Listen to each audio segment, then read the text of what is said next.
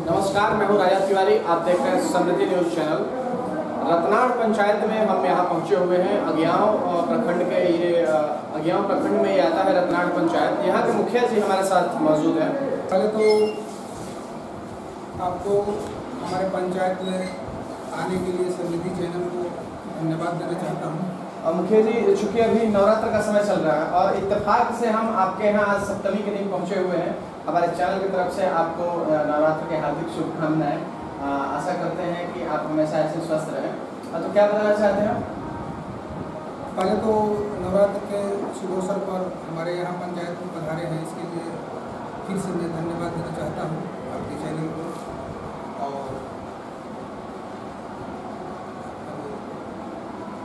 विकास की बात करें तो सात निश्चय योजना, जो कि काफ़ी ज़ोर शोर से चल रहा है तो सात निश्चय योजना आपके हिसाब से सफल है या असफल है? सात निश्चय में जो नल जल का काम है, वो सरकार का असफल योजना है। इसमें जो वार्ड सदस्य, वार्ड क्रियान्वयन प्रबंधन समिति जो काम करा रहा है, उसमें जितना भी काम हो रहा है, वो काम लगभग असफल है सरकार का। इसके साथ जो पीसीसी नली का काम है, सरकार का एक बेहद प्रोजेक्ट है। इसके लिए मैं बहुत सा धन्यवाद देना चाहता हूँ कि अगर सरकार मेरी आवाज़ सुन रही होगी तो नल जल को हटाकर हर पंचायत में हर गाँव का जो नली गली का विकास है उसी को कर दिया जाता तो हमारे तरफ़ हमारे समझ से अच्छा होता नल जल में कहाँ आपको परेशानी आ रही है? नल जल तो काफ़ी एक, अच्छी योजना है कि हर घर नल जल का नल मिले। इसमें क्या परेशानी है? परेशानी इसमें परेशानी इसमें ये है कि जो लोग ठेकेदार के माध्यम से जो काम करा रहे हैं, या तो रजिस्टर्ड से ठेकेदार नहीं है। दूसरा बात कि जो वार्ड की जन्म प्रबंधन समिति दे रही है, उसको कोई बॉन्ड नहीं है कि हम किस किरदार को काम करा रहे हैं। ये काम उनको खुद करना चाहिए। लेकिन सरकार उन लोगों को क्या प्रशिक्षण दिया? हम लोग को रोज रोज बताया जाता है कि काम बढ़िया से कराना है पंचायत में, लेकिन हम लोग को बात, वार्ड क्रियान्वयन प्रबंधन समिति सुनती नहीं है। दूसरा बात कि जो भी काम है नल जल वाला, उसमें बहुत सा त्रुटि है। एक नंबर का पाइप नहीं दिया जाता है ठेकेदार के माध्यम से। उसमें जितना बोरिंग हम लोग को कराना था, वो बोरिंग नहीं हो पा रहा है। इसलिए हम इसको फेल मानते हैं। ये योजना सरकार का ये ड्रीम प्रोजेक्ट है, नल जल बिल्कुल है। और मैं आप लोगों को चैनल से बताना चाहता हूँ सरकार को पाँच साल होने वाला है एक साल बाकी है डेढ़ साल बाकी है। अगर पंचायत में दो को तीन लोग नल जल का योजना चले तो इसको बहुत काफ़ी मानेंगे।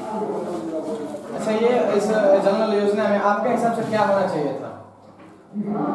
नल जल योजना में हमारे हिसाब से जो बड़ा गाँव है जैसे वार्ड छः मेरे पंचायत में मेरे गाँव में छः गो वार्ड है। अगर जितना एस्टिमेट बना हुआ है जितना का एस्टिमेट वार्ड क्रियान्वयन प्रबंधन प्रबंधन समिति बना रहा है उस पैसे से अगर मिनी वाटर पंप लगा दिया जाता तो इसमें पूरे गाँव एक ही जगह टंकी बनाकर एक ही जगह से पूरी गाँव को सप्लाई दे जा सकती है और अगर गली गली नली की बात करें तो ये कैसा चल रहा है गली नली? ये गली पंचायत में जो भी ये सात निश्चय गली नली का योजना है ये अच्छा है। जिस वार्ड में काम लग रहा है उस वार्ड का काम थोड़ा पैसा ज़्यादा लगता है लेकिन काम होने के बाद हमको लगता है कि अगर अगला मुखिया आएगा तो उस वार्ड में अगर काम हो जाता है तो दूसरा उसमें काम कराने लायक नहीं रहेगा। क्या वजह है? वजह यह है कि मैं अपने स्तर से मैं अपना बात बताना चाहता हूँ कि मैं जिस वार्ड में नली गली का काम कर रहा हूँ वार्ड में पूरी तत्परता से मैं खड़ा होकर काम करा रहा हूँ। पहले उस वार्ड का नली का काम होता है और इसके बाद पीसीसी का काम होता है। हमारे पंचायत में दो तीन वार्ड ऐसा है, वो पूर्ण रूप से नली गली का काम और पूर्ण पूर्ण रूप से गली का जो पीसीसी करण है, हमने करा दिया है। अच्छा मुखिया जी अभी जो प्रखंड आवास का जो अभी चल रहा है, प्रधानमंत्री आवास योजना इसके अनुसार प्रखंड के जो ये पर्यवेक्षक प्रखंड पर्यवेक्षक के द्वारा आवास का जो निरीक्षण किया जा रहा है जो भी और साथ में आवास सहायक भी। तो इन पे बहुत सारे लोगों का कहना है कि ये लोग पैसा लेते हैं तब आवास पास कराते हैं। आपके पंचायत में क्या इस तरह की मेरे पंचायत में भी इसी तरह का घोर धांधली हो रहा है। जी। जो हमारे पंचायत का आवास सहायक है और उसके बिचवलिए के माध्यम से पूरे जो हमारे पंचायत के जो भी लाभुक हैं उनको डरा कर पूरा मैंने व्यवस्था को अपना हिसाब से डरा धमका कर कि इसको पैसा यहाँ देना है इसको पैसा यहाँ देना है। उसको डरवा धरवा कर पैसा उससे लिया जा रहा है। आवास सहायक लोग ले आवास सहायक ले रहा है। इसमें पर्यवेक्षक की भी भूमिका है। पर्यवेक्षक को तो मैं ही नहीं बता सकता हूँ। आवास सहायक फ़ील्ड में रहता है। वही बिचवलिया हर गाँव में अपना अपना रखा हुआ है। और उसी के माध्यम से ये अपना पैसा तसीलते हैं लोग। और लाभुकों के द्वारा ऐसे शिकायत सुनने में आ रही है कि बीस हज़ार पच्चीस हज़ार रुपये ले रहे हैं। कहाँ तक सच्चाई है इसमें? सच्चाई है। हाँ, कितना पैसा से बीस हज़ार रुपये ले रहा है। आवास सहायक। हम्म। और शौचालय की बात करें तो ये कहाँ तक बना हुआ और लड़कों को उसका राशि मिला कि नहीं? हमारे पंचायत में हमारा पंचायत तो ठीक हो चुका है लेकिन बहुत सा लोगों को पैसा नहीं मिला है। अभी मुझे शिकायत इस बात का है कि हमने खुद एक नंबर दो नंबर वार्ड में पूर्ण रूप से शौचालय बनवाया है जिसमें मात्र एक नंबर वार्ड में एक या दो घर है जिसका शौचालय नहीं है और दो नंबर वार्ड में पूर्ण रूप से शौचालय हम अपने स्तर से बनवाया है। लेकिन उन लोगों का पेमेंट अभी जितना चाहिए उन लोग को नहीं मिला है। क्या कमी आ रही है इसमें? कमी आ रही है प्रखंड में जो भी बीसी लोग है ब्लॉक का वीडियो है इस पर पूरा ध्यान नहीं दे रहा है लोग जो उसका ये क्या बोलते हैं जो फ़ील्ड में ही काम करता है लोग। शौचालय निरीक्षण के लिए। शौचालय निरीक्षक तो उन लोग अपना अपने स्तर से वो भी लोग लेते हैं कुछ लेते हैं कि इसको यहाँ देना है लेकिन लगता कुछ नहीं है। अच्छा वगैरह के माध्यम से कैसा सपोर्ट आप लोग है हमारे यहाँ जिनका शौचालय उचालय में काम नहीं किया है। एक भी शौचालय नहीं बनाया है उसके माध्यम से। हम्म। जीविका के माध्यम से कोई सपोर्ट आपके पंचायत में नहीं है? और क्या समस्या आ रही है? नहीं जीविका तो हमारे पंचायत में मीटिंग सीटिंग भी नहीं होता है। हमने दो बार बोल किए यहाँ की पंचायत भवन पंचायत सरकार भवन बना हुआ है।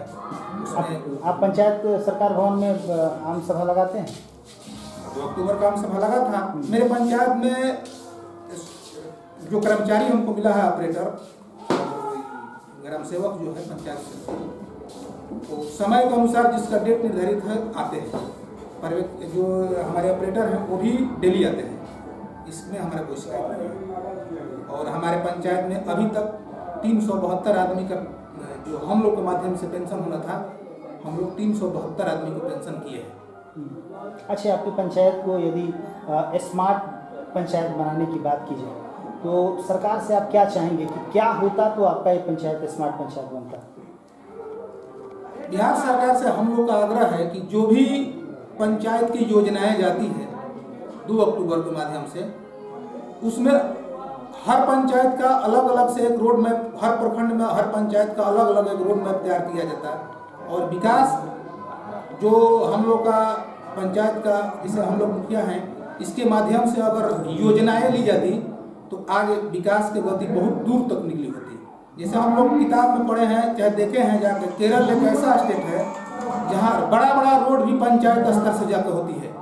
और उस पं, उस केरल स्टेट में आज जाके देखिए देश का सबसे बड़ा और शिक्षित स्टेट माना जा रहा है। इसीलिए हम लोग भी बिहार सरकार से आग्रह करना चाहते हैं कि जो भी विकास हो पंचायत स्तर से जो जमीनी कार्यकर्ता है, उनका, उन्हीं के माध्यम से हो। पंचायत के जो प्रतिनिधि हैं, उन्हीं के माध्यम से हो। लेकिन जो योजनाएँ ली जाए कि हमारे पंचायत में कहाँ कहाँ ज़रूरत के अनुसार काम है। अगर उस हिसाब से बजट बनाया जाए तो आज विकास बहुत दूर तक बिहार का लिखा होता है। मुखिया जी चूँकि बहुत सारी जनता आपको टीवी स्क्रीन पे देख रही है पंचायत वासी भी देख रहे हैं। अभी दुर्गा पूजा के अवसर पर वासियों को क्या संदेश देना चाहते हैं? सबसे तो पहले हम अपने पंचायत वासियों को हमारे नवरात्र के इस शुभ अवसर पर हार्दिक अभिनंदन करना चाहता हूँ और पंचायत वासियों को सुख समृद्धि, जो भी हमारे पंचायत में जो हमारे स्तर से पूजा पाठ इस रत्नाड़ पंचायत, रत्नाड़ गाँव में हो रहा है, हमारे घर के बगल में है माता से मैं आग्रह करूँगा कि सबको सुखी शांति समृद्धि दे। जैसा कि आपने देखा भी, हमारी बात हो रही थी रतनाड़ पंचायत के मुखिया जी से। काफ़ी अच्छा लगा इनसे बात करके, बहुत सारे मुद्दों पर चर्चा हुआ इनसे। अभी हालाँकि समय चल रहा है नवरात्र का, और इस नवरात्र के अवसर पर इन्होंने अपने सभी ग्रामवासियों को शुभकामना दिया कि वो स्वस्थ रहें, अच्छे रहें। और साथ ही साथ कुछ विकास के मुद्दे पर इनसे हमारी चर्चा हुई। जिसमें इनका कहना है कि जल नल योजना टोटली असफल है। उससे बढ़िया रहता कि पंपिंग सेट हर एक घर लग जाता उतने पैसे का तो वो बेहतर रहता। और साथ ही साथ इन्होंने एक ये भी बात बताया कि यहाँ प्रधानमंत्री आवास योजना में टोटली घोटाला चल रहा है।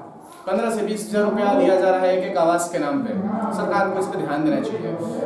समृद्धि कैमरामैन विकास के साथ।